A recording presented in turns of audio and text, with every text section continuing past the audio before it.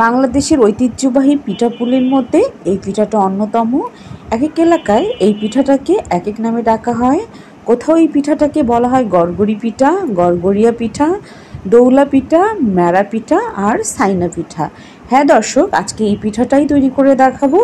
এর মধ্যে আমি চুলোর মধ্যে একটা প্যান বসিয়ে এখানে এক কেজির মতো চালের গুঁড়ি দিয়ে দিয়েছি আর এখানে সামান্য লবণ অ্যাড করে আমি আটাটাকে মিডিয়াম হিটে ভালোভাবে টেলে নিব। আটাটাকে এভাবে টেলে নিলে আটাটা ঝরঝরে হবে আর সুন্দর একটা ফ্লেভার বের হবে।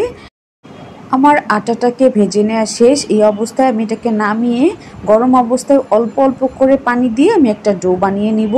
একটা হাতার সাহায্যে আমি এভাবে নেড়ে চেড়ে ডোটাকে বানিয়ে নিব আর অল্প অল্প করে পানি অ্যাড করব। অল্প অল্প করে পানি দিয়ে সম্পূর্ণ চালের গুঁড়িগুলোকে আমি গুলিয়ে নিব। তারপরে হাতের সাহায্যে চেক করে নিব। যেহেতু এটা গরম অবস্থায় করতে হয়, তাই সাবধানে এটা করতে হবে। যখন হাত দিয়ে ধরার মতো একটা অবস্থা হবে, তখন সম্পূর্ণ ডোটাকে ভালোভাবে মথে নিতে হবে। আর এটা কিন্তু অনেক মিহি হতে হবে, তাই হাতের সাহায্যে খুব ভালোভাবে এটাকে মথে নিতে হবে। আমি এখানে কিছু শুটকি ভর্তা নিয়ে নিয়েছি, পিঠার ভিতরে অ্যাপ্লাই করব। আপনারা চাইলে এটার পরিবর্তে গুড় নিতে পারেন। নারিকেল কুন্নি করে নিতে পারেন। আমি আজকে এটা শুটকি ভর্তা দিয়ে করে দেখাবো।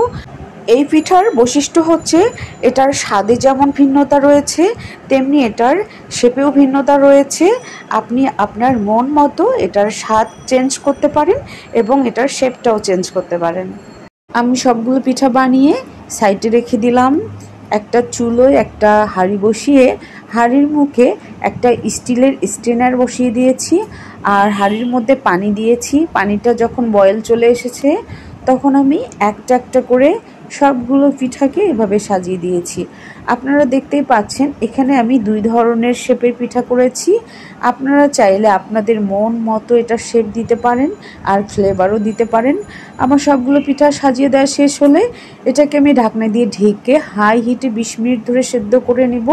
বিশ মিনিট পরে ঢাকনাটা তুলে নিব। একটা কাঠির সাহায্যে আমি পিঠাটাকে চেক করে নিব।